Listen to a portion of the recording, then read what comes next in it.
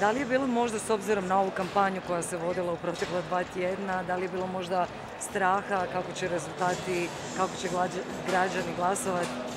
Ma ne, mislim, doista ne, ni u jednom času. Mislim, mi smo stvarno već i kroz prvi krug vidjeli da su građani prepoznali da mi zaista pričamo o onom što njih muči i koji i nas muči, dakle o problemima koji muče građane ovog grada i o rješenjima. I bilo nam je nekako jasno da, odnosno, stvarno smo vjerovali da će građani prozreti tu nekakvu puškačku kampanju i da neće nasesti na kampanju straha, ono, vanjskih neprijatelja i unutrašnjih i tako dalje, nego na ono kampanju nade, kampanju koja govori o njihovoj budućnosti i nekakvom ono boljim sutra za sve nas.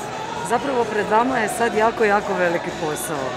Pred nama je tek sada zapravo posao, da, srećom spremni smo, ono, mhm. dugo smo se za to spremali i stvarno ono, spremni smo zasukati rukave.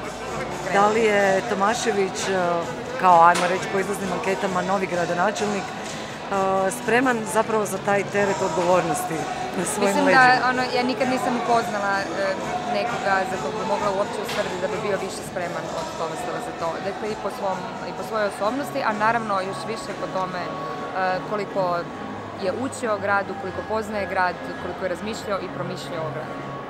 E, građani zapravo sad očekuju velike promjene, no međutim to neće se moći zapravo preko noći dogoditi sve, jel tako? Da, mislim mi smo to i u kampanji jasno komunicirali, tako da mislim da su građani i to čuli, dakle da naravno da e, se promjene ne događaju preko noći, da, te da oni koji obećaju promjene preko noći su neuvjerljivi u tome, e, treba će neko vrijeme, ali biti će jasno, odnosno već je jasno u kojem smjeru ćemo ići, ja sam sigurna da će to građani pratiti i što očekujete zapravo od prvih službenih dipovih rezultata? Uvijek nekako malo razlika bude između... Da, teško je reći, to ono kao pleše, možda se malo poraste, možda malo padne, ali evo, nadam se da će ostati ovako kao što, je, kao što su bile izlazne Hoćete feštat malo večeras?